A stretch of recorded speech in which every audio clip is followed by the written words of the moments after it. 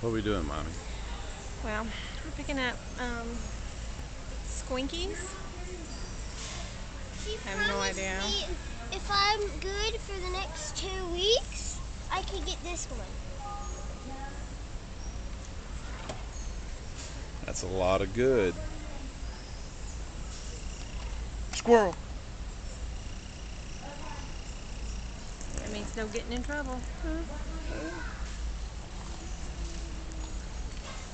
Where everyone off to?